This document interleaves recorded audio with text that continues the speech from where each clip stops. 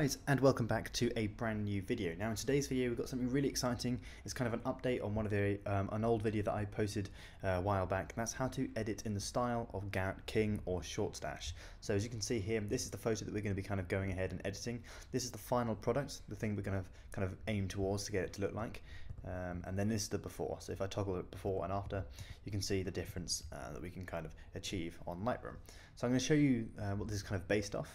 So this is the photo we're kind of basing it off here. This is one of Shortstache's account on Instagram. Do go ahead and check him out. He's got some really cool photos and he's got a really, really unique, nice uh, kind of editing styles. But this is the photo we're kind of basing it off um, and you can see this is the photo we've done here, how similar um, the kind of color grade that I've done and his color grade are.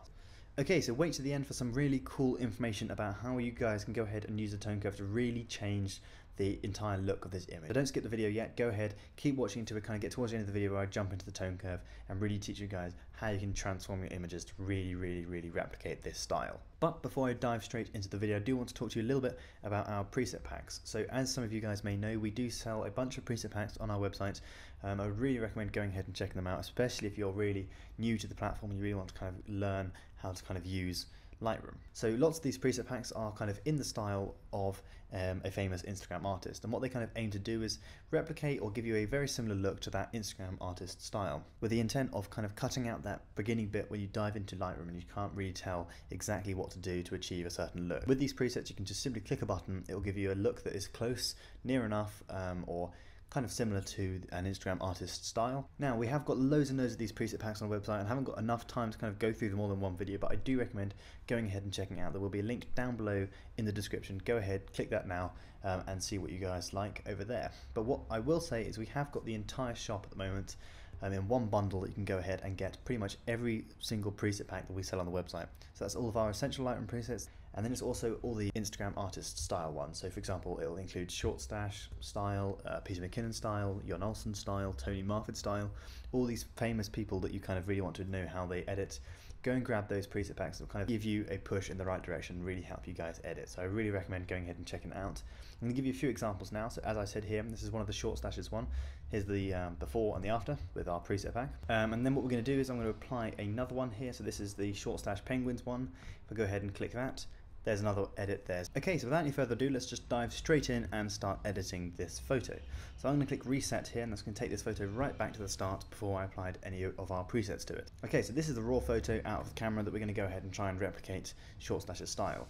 Before we go anywhere, let's kind of just look through his photos and kind of work out what he does with his photos. So the main thing things you can notice is most of his photos are very kind of dark, nice desaturated tones, um, nothing too vibrant.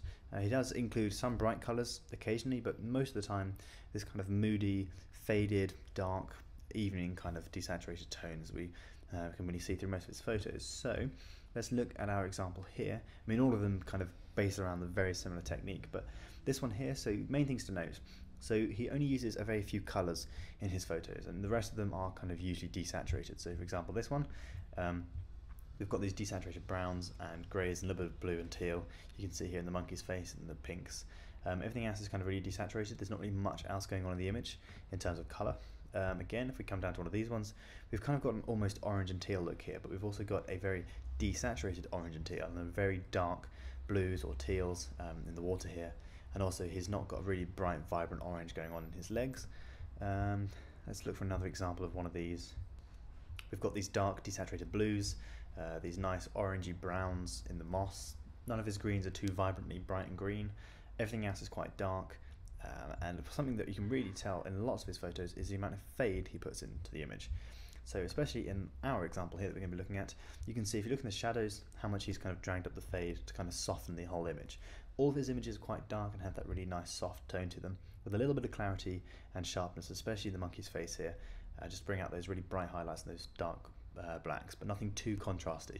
Okay, with all that in mind, let's dive straight into editing the photo. Okay, so the first thing to note um, is the white balance. I'm just going to take that down a little bit, maybe down to minus 3. I just think it looks a little bit too yellow at the moment, especially in the background here.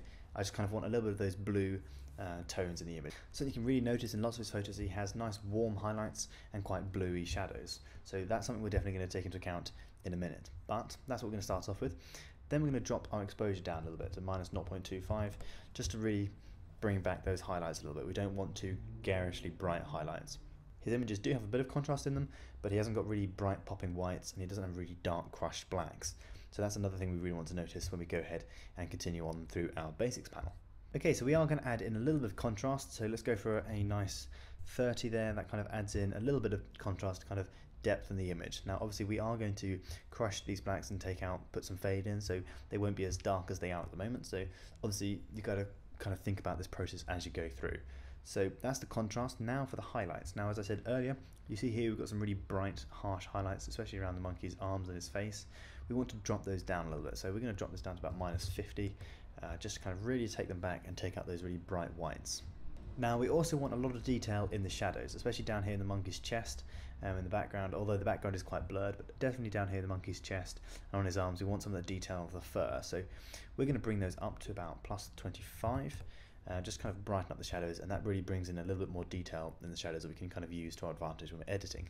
Okay, now as I said again, similar thing with the highlights, the whites are the whitest of the highlights, so I want to bring those down as well, so we're going to drop those down to minus 35. There we go, you can see that really nicely just kind of keeps those highlights definitely there, but it just kind of brings out the harshness of those highlights. Now again with the blacks, I'm going to bring those up to about three. I don't want to bring them up too much because there's not very many dark blacks. And if I bring them up too high, as you can see like that, it kind of washes out the image and kind of removes all that contrast we added in beforehand. So let's just leave it at plus three. Okay, so on the clarity front, you can kind of go either way with this one. Lots of his photos have clarity in them and have some really nice kind of uh, contrast and sharpness in the fur, for example, and some of them don't have a clarity in them. That kind of, if you bring out the clarity, you take it down, you kind of make your images look really soft um, and faded. That's really a nice theme that he has throughout all of his photos. So we're going to go for that. We're just going to drop it down about minus five. Nothing too drastic. Again, with the clarity, really don't overdo it. Don't push it too low and don't bring it up too high because it can really change the look of your image for the better. But if you push it too much, it's going to make your image look really, really weird. So just kind of keep that in mind when you're doing all these edits. Okay, now vibrancy and saturation. Now this really kind of personal preference, but I find that I prefer to bring down the vibrancy and bring up the saturation. I find the vibrancy, if you bring up too much, really saturates those brightest colors. So if you can see if I bring it up too high um, compared to a really high saturation, um, I don't know, I, I, prefer bringing down the saturate, bringing down the vibrancy and bringing up the saturation. It kind of lends towards a really nice soft image and that's kind of thing we're kind of going for for Shortstache. So I'm going to bring that down to minus 25 um, but you can see that's too desaturated now, so let's bring up our saturation to plus 35, um, and that kind of softens it out a little bit. But it also keeps a nice bit of contrast in there. Okay, so as I said at the beginning of the video, here is what promised about the really good information about the tone curve. So the tone curve is basically going to change the entire look of this image, and it's probably the most complicated part about editing in Lightroom, but if you can get this down, you can get this nailed, you can really replicate his look exactly. So the first thing I would do when you jump into the tone curve is make your three point curve. So you just put one down here on your shadows, one on your midtones and one on your highlights. Okay, so the first thing is really think about each section. So we're going to start up here in our midtone slash highlights. Um, and again, as we did earlier, I'm just going to drop those down a little bit. Now, I don't want to go too far because we start getting some weird x-ray kind of vibes. And again, up the top we have some demon monkey. So we don't want that. So we're going to bring it down a little bit, just a touch, just down there. Okay, so one thing we really pointed out was he definitely adds in a bit of fade into his images. So the way we're going to achieve that is by bringing up our shadows here. Now we don't want to bring them up too much because again we get some really insane look to the image, but definitely a little bit to kind of soften out those blacks in the background, especially under the arms here. Now we are going to bring down the shadows a tiny bit and just kind of play around until you can really kind of get the look you wanted. Sometimes it's useful putting in another point here, just kind of sharpen off the curve at the bottom.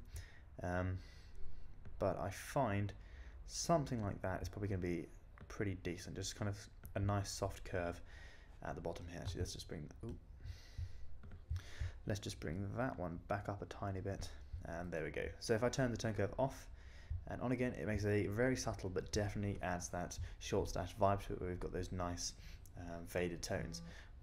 One thing to also note is possibly to bring down your absolute whites up here and just kind of fade those out as well. That's something he definitely does. He doesn't have um, really bright highlights and really dark shadows. He fades basically both ends out. Okay, so now we're kind of mainly done with the tone curve. Let's drop down to the HSL sliders.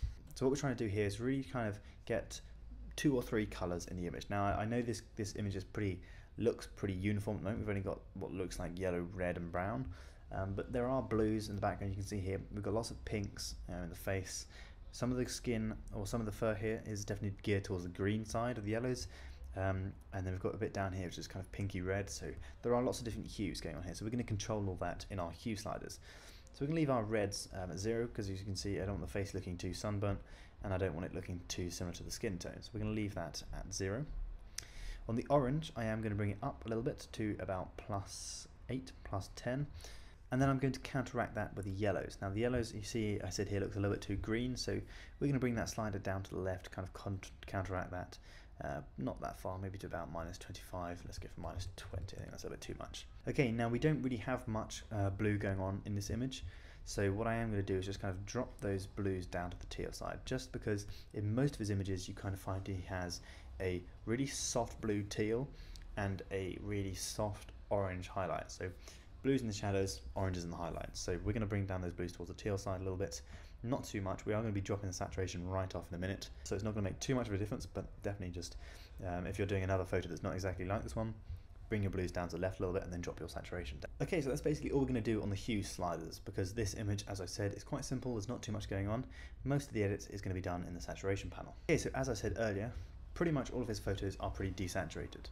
So we're going to achieve that effect by dropping all, ooh, not that far, pretty much all of our colors down um, to basically the same value, but minus 35, minus 35, minus 35. Now, straight away you look at that and that looks really, really desaturated um, and doesn't look quite right. But we're going to change that a little bit in the split toning in a minute, so it's to kind of balance out, bring up the luminance, and you'll see uh, the difference that makes in a minute. Now, as I said earlier, on the aquas we're going to bring those down, and then on the blues we're going to bring those down as well. So we've basically desaturated the entire image uh, but kind of controlled which areas we're desaturating. If anything, I think I might just bring up those yellows just a touch because I think we've just dropped them down a little bit too much, so about minus 22 on the yellows. Okay, so on the luminance, I am going to bring up certain bits I want to kind of boost the highlights. So I want to make the highlights in the face a little bit brighter, so we're going to bring those up to about plus 5. Nothing too drastic. Actually, I think maybe about 10, um, and then I'm going to bring up the oranges to about 5 as well. So then what I'm going to do is I'm going to bring up the yellows to about 15. Now when you increase the luminance it kind of also adds a little bit more saturation back um, into those specific colours. So I'm going to bring that up to about plus 22. Um, greens, we haven't really got much there, but I'm going to bring those up a little bit as well. Now, with the blues and aquas, you want to bring down your luminance down to about minus 40. Now, that's basically going to darken off those blues and kind of give you a really nice look, especially in the sky if you've got an image that has blue skies. Um, bringing down the blues to the left, bringing down saturation and the luminance down will kind of really give you the look that he has in all of his photos. Okay, so next up, split toning. This is kind of really what makes and breaks the image, um, in my opinion. So first off, we're going to dive in straight off and give a value of 50 to the highlights. Now if I hold down Alt and click that button, you can see there's a nice orange glow to the highlights. Um, and we're going to drop in a nice value of 12 on saturation. So there you go, you can see that immediately adds some saturation back into the image. So we removed a lot of the saturation down here, but what we've done is immediately added in a nice uniform soft yellow saturation to kind of all of the monkey, the most of the highlights. Okay, now in the shadows, there's kind of two things you can do here. Either you can go for a, a blue shadow or you can go for more of an icy teal shadow. Now I'm going to go for the icy teal one because I think I've tried that before and this one looks quite nice on this image. So about 180 does a really nice kind of shadow for that. So if I hold down Alt and click that, you can see that's a really nice teal kind of colour there. So let's just drag the saturation there only up to about 5 because too high um, and it really changes the look of the image. But you can see immediately that adds that really definitive bluey teal colour to his shadows and that nice orange glow to the highlights. Now just as an example, if you hold down Alt and you bring your slider down to the left, just to the right, sorry, add a little bit more blue, that's the kind of look you can get um, with a blue shadow. So very subtle differences, but I think for this particular photo we're going to go for 180. Next up, we're going to come down to sharpening. Just going to add a little bit more sharpening and just kind of bring out the sharpness on the monkey's face. And then we are also going to add in a shed ton of noise reduction because we have introduced a little bit of noise up here when we've crushed those shadows. Um, so about 30 looks pretty good. I think that's probably a little bit too high, so let's go for 25. Just kind of remove that noise reduction and really soften out the whole image. Okay, so now we've pretty much done it. So if I do it before and after, you can see the drastic differences we've made just by going all the way through. We are not finished though, let's kind of jump down to the effects and the camera calibration. Now, most of his photos, as you can see here, have a kind of vignette going on. Now, this side he's got a dark vignette, then he has a white vignette here. Uh, but for this photo, because there's no real definitive angle where the light is coming from, seems to be kind of face onto the monkey, we're going to kind of do a nice vignette around most of the image. So we're going to grab our highlight priority here and just drag it down to the left a little bit. Not too far, maybe to about minus 12, I think that's possibly a little bit too far, minus 18 Okay, that's pretty much a nice vignette there, soft vignette across the whole image. Okay, then camera calibration. I'm going to bring up the red primary um, just to about plus 17, uh, saturation to about 10. Now, lots of people put in the comments why you adjusting the camera calibration, like it's to adjust the kind of look of the actual camera photo. Now, yes, you can kind of use it to correct your kind of white balance and all your different kind of red, green, and blue primary of your photos out, just raw out of the camera. But you can also use it to really kind of add some really cool effects to images. So that's the reason why I use it. Um, and lots of other people do use it as well, just kind of add some really cool effects that you can't really get through the HSL sliders. Okay, now the green primary, I'm up to 7, and then the blue primary down to about minus 15 uh, and just, just drop the saturation there to about minus 5. Now if you just kind of, that's been a bit of a whistle stop tour through there, but basically what the best way to kind of work out what you're doing there is just kind of slide the sliders around and see what works best and the images that kind of work nicest. Usually with the blues you kind of get this kind of pink um, and orangey kind of vibes, so there we go, um, and with a kind of teal in the background. So that's the reason why I did that, to kind of bring a little bit more teal to the shadows and a little bit more pink to the image because we had a little bit too much green going on there. Green primary can do some really wacky things. Okay, so that's pretty much all of it done, to be honest. Um, so as you can see, if I do a before and an after, the drastic difference all of that editing has made. I will say a couple of adjustments you can make is coming up and getting the brush tool, dropping the exposure a bit, maybe bring up the clarity as well, and then just brushing in some sh the shadows a little bit, just making the shadows a little bit darker, because um, you can really see that in lots of his images. He kind of really adds a little bit more natural contrast in certain places.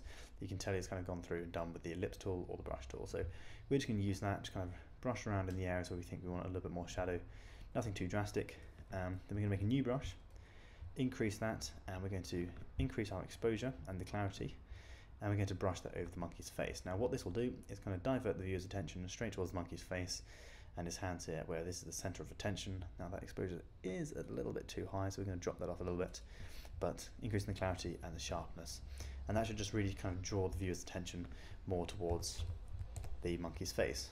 Okay, there we go. That's pretty much it, guys. That's pretty much done. Um, again, here we do a before and an after. Before, after, before, after. You can see how much difference all those little adjustments have made. So jumping back, and let's just click the uh, the preset here that we applied earlier to see how similar to that look we've got. So Okay, so a very similar look, but of course I think the preset works a little bit better with this particular photo. But as you can tell, uh, this is the preset, and then that's the look that we got from doing our edits. So definitely something that's really useful is applying the presets. In this case, the preset I think got a little, little bit of a nicer effect than my editing going through here, but obviously that depends on the photo that you guys want to apply it to. So do go ahead, check out our preset packs. It will really help support the channel, guys. The link will be down below in the description as usual. Do go ahead, jump over there, check out some stuff do go ahead and check out the whole shot pack. That is reduced at the moment. It's a huge reduction. Um, so go ahead and check that out at the moment. You can get get the chance to kind of get your hands on pretty much every single one of our preset packs on the website um, for a massive reduced price at the moment. So do go ahead and get that if you're really interested. So see you guys in the next video, guys. Leave a comment down below if you guys enjoy this. Like the video, and we'll see you guys in the next video. Live long and prosper.